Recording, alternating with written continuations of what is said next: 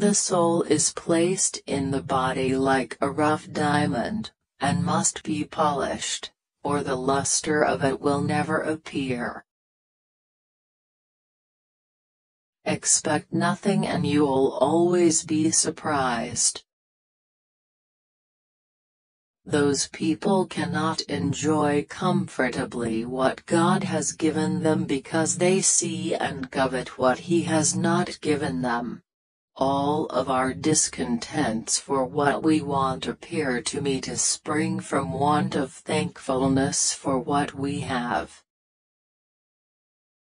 Fear of danger is 10,000 times more terrifying than danger itself. Thus we never see the true state of our condition till it is illustrated to us by its contraries, nor know how to value what we enjoy, but by the want of it.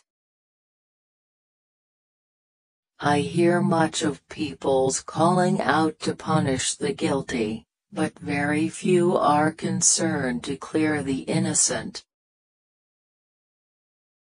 Today we love what tomorrow we hate, today we seek what tomorrow we shun, today we desire what tomorrow we fear, nay, even tremble at the apprehensions of.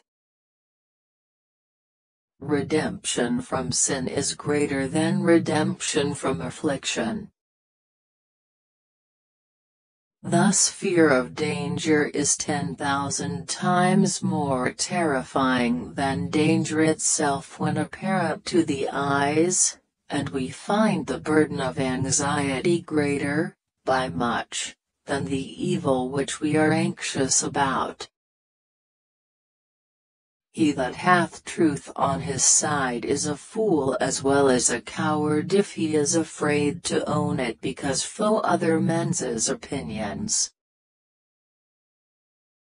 All evils are to be considered with the good that is in them, and with what worse attends them. 'Tis very strange men should be so fond of being wickeder than they are.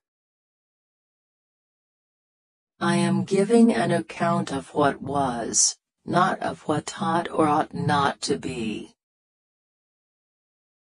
I had been tricked once by that cheat called love, but the game was over. Nature has left this tincture in the blood, that all men would be tyrants if they could. The best of men cannot defend their fate, the good die early, the bad die late. But, he says again, if God much strong, much might as the devil, why God no kill the devil, so make him no more do wicked. I was strangely surprised at his question and at first I could not tell what to say, so I pretended not to hear him. Misfortunes seldom come alone. Man is a short-sighted creature, sees but a very little way before him, and as his passions are none of his best friends, so his particular affections are generally his worst counselors. It is as reasonable to represent one kind of imprisonment by another as it is to represent anything that really exists by that which exists not. In trouble to be troubled, is to have your trouble doubled. Pleasure is a thief to business. Justice is always violence to the party offending, for every man is innocent in his own eyes. Friends are good, good, if well chosen. Self-destruction is the effect of cowardice in the highest extreme. If a young woman once thinks herself handsome, she never doubts the truth of any man that tells her he is in love with her, for if she believes herself charming charming enough to captive him, 'tis natural to expect the effects of it. Necessity makes an honest man a knave.